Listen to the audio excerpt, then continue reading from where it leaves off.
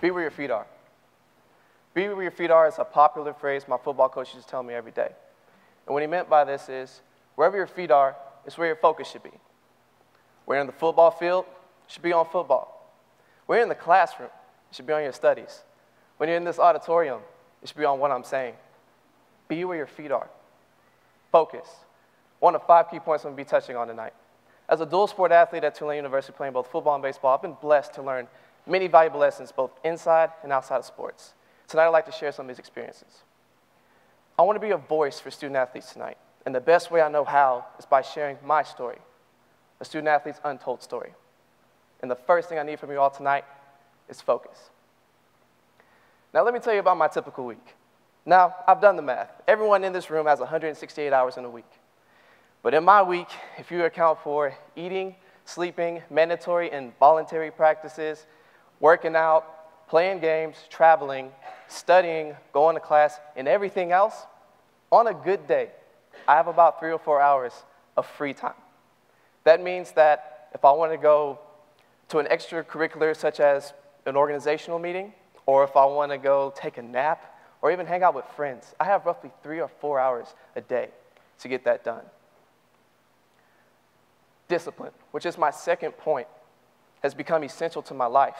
Every day I wake up, I make a list of items that I have to get done.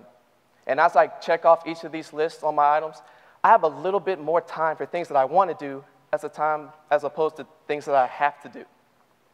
Being disciplined in time management leads me right into my third point production.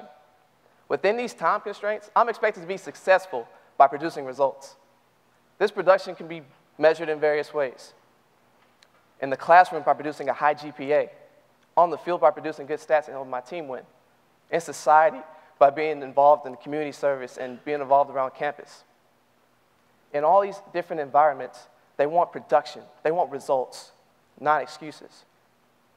It's challenging for my teachers to understand what it's like to come from a three hour practice, followed by strength and conditioning, and then go to their three hour night class and stay alert and attentive. No excuses. My coach doesn't want to hear about how I stayed up all night studying for a test or writing a paper, and that's why the next day at practice I'm going through the motions. No excuses. More organizations don't want to hear about how I can't attend their meeting because the only reason I'm not going to go to their meeting is because I've been averaging three hours of sleep for the last four nights. No excuses. They all want results, production. This fact brings in how I can accredit my success in being productive leads right into my fourth point integrity. Now, I believe this picture can summarize what I think success is. This can is an actual can that sits on my desk, and I look at it every single day. success comes in cans, not in cannots. I am a huge advocate of the power of your word. If I say that I'm gonna get something done, it's getting done, period. One of my life mantras is that you make time for what's important to you, not excuses. So all I want you to just take a moment to reflect. What motivates you? Is it family? Is it money? Your faith?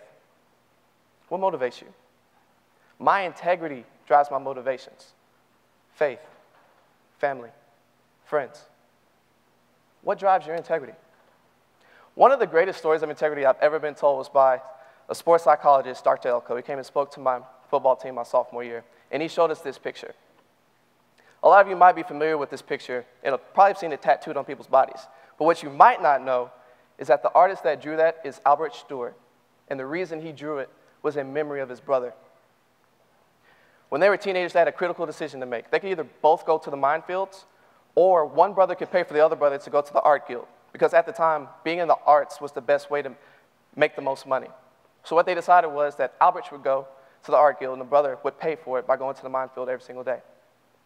So after some time, this brother finished the art guild, made some money, and he threw a huge feast in celebration.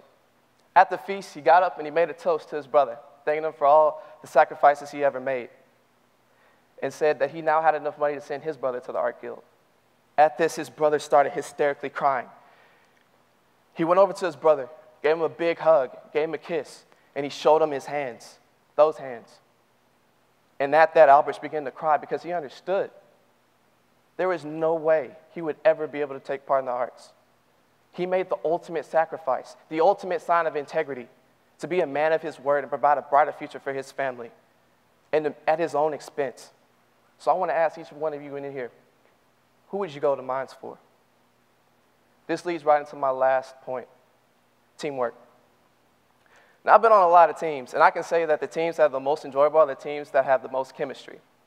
And this chemistry is built by building both trust and respect. But these must be earned, not given.